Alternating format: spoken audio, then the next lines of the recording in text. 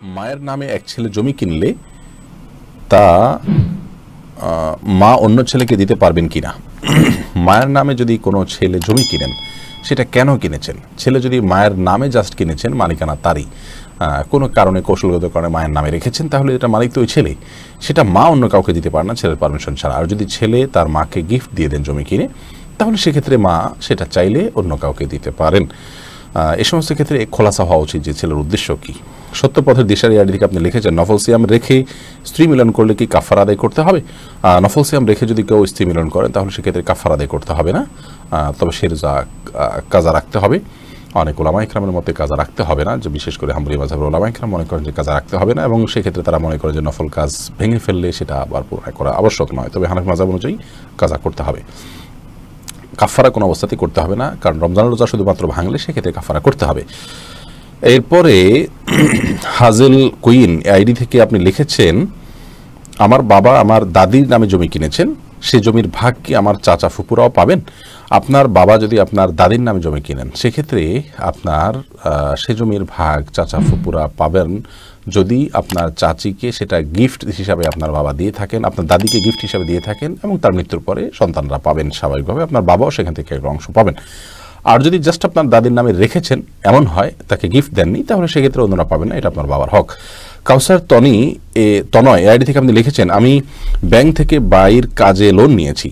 তখন আমার সুদের মাসআলা জানা ছিল না। দিনের পথে এসে জানতে পারি, এরপর আমি অনুতপ্ত। তবা করেছি কিন্তু এই ইনস্টলমেন্ট বহন করে যেতে হচ্ছে। এখন আমার করণীয় কি? যদি আপনার সুযোগ থাকে, তৌফিক থাকে, পুরো টাকা পেমেন্ট করে দিয়ে আপনি মুক্ত হয়ে যাবেন। এই ঋণ থেকে তাহলে সে চেষ্টা করা উচিত। আর যদি সেই শক্তি সামর্থ্য আপনার না থাকে তাহলে সেক্ষেত্রে দ্রুততম সময়ে আপনি এটা থেকে মুক্তি লাভ করার চেষ্টা করবেন এবং আল্লাহর কাছে ইস্তেকফার করবেন। বিকল্প কোনো পথ যদি খোলা থাকে, এই লোন থেকে বেরিয়ে আসা সেই পথে আপনাকে যেতে হবে।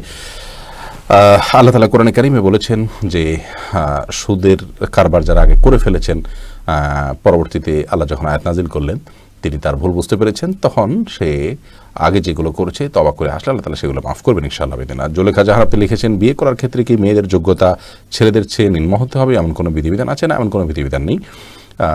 এক্ষেত্রে কম বেশি হতে পারে। এর জন্য বিয়ে অশুদ্ধ হওয়ার কোনো কারণ থাকতে পারে না। এরপরে নগায়রাতুল জাহ, জান্নাত এই আইডি থেকে আপনি লিখেছেন পার্লারে কাজ করে টাকা উপার্জন করলে তাকে জায়েজ হবে। পার্লারে কাজ করা এবং তার মাধ্যমে টাকা উপার্জন করা এটা জায়েজ হবে। বিশেষ করে পার্লারে টাকা আপনার উপার্জন করার ক্ষেত্রে আপনাকে দেখতে হবে যে সেখানে আপনি কি কাজ করছেন। আপনি যদি এমন কোনো সার্ভিস প্রোভাইড করেন যেটা আসলে হারাম, যেমন পার্লারে গিয়ে আপনি ধরুন কারোর আপনার মেয়ে মানুষ তার আপনার গায়ে ট্যাটু আপনি লাগাচ্ছেন অথবা ছেলেদের গায়ে ট্যাটু লাগাচ্ছেন, যেটা লাগানো হারাম। তাহলে সেক্ষেত্রে আপনার জন্য এই চাকরি করা জায়েজ নয়। আর যদি সেখানে থেকে আপনি হালাল কাজগুলো করেন, মেয়েদের সাধারণ সাজগোজগুলো করে দেন, তাহলে সেক্ষেত্রে সেই চাকরি করাতে কোনো অসুবিধা নেই। আখরি নবীর উম্মতে আইডি থেকে লিখেছেন, ঘরে কবুতর বা পাখি পালন করা কি গুণা ঘরে কবুতর অথবা পাখি। এগুলো পালন করাতে কোনো অসুবিধা নেই, কারণ পাখি, এই পশু এভাবেই পালন করা হয়ে থাকে। বিশেষ করে পাখির ক্ষেত্রে যে পাখিগুলো খাঁচায় পালনযোগ্য, এভাবেই সেগুলো বেড়ে উঠেছে, জন্ম হয়েছে, জাতটাই এরকম, তাহলে সেগুলো পালা করা, পালা দোষণীয় নয়। তবে যে পাখি বাহিরে উড়ে চড়ে বেড়ায়, সেগুলোকে বলপূর্বক আপনি বেঁধে রেখেছেন এবং খাবার দিচ্ছেন না, এরকম যদি হয়, সেটাও জুলুম হবে।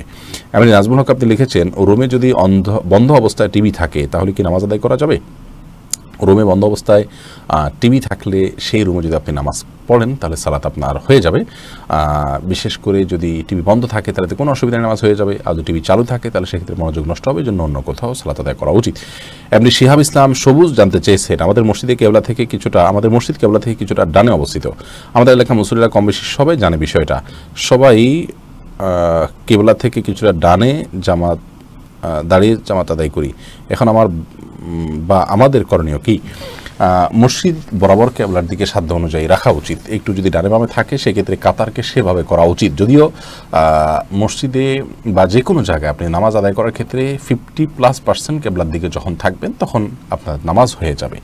কিন্তু ইচ্ছাকৃতভাবে কেবলার দিকে ফিরে সালাত আদায় করার বিষয়টাতে যেন ত্রুটি না হয়, সেজন্য আপনার এটা যেহেতু স্থায়ী সমস্যা, বিধায় আপনি এটাকে কাতার এমনভাবে দাগ দিলেন যাতে করে পরিপূর্ণ ক্যামেরার দিকে হয়।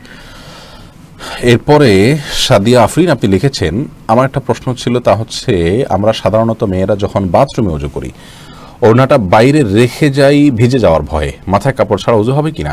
মাথায় কাপড় ছাড়া উজু হবে, কোনো অসুবিধা নেই। আপনি উজু করতে গেলে মাথায় কাপড় দিলে তো বরং কাপড় ভিজবে। এটাই তো স্বাভাবিক। আপনি মুখের চুলের গোড়া থেকে নিয়ে আপনার কানের লতি পর্যন্ত সব যখন ধুইতে যাবেন, তখন তো আপনার ওড়না ভিজে যাবে। অতএব ওড়না খুলে উজু করাতে কোনো অসুবিধা নেই।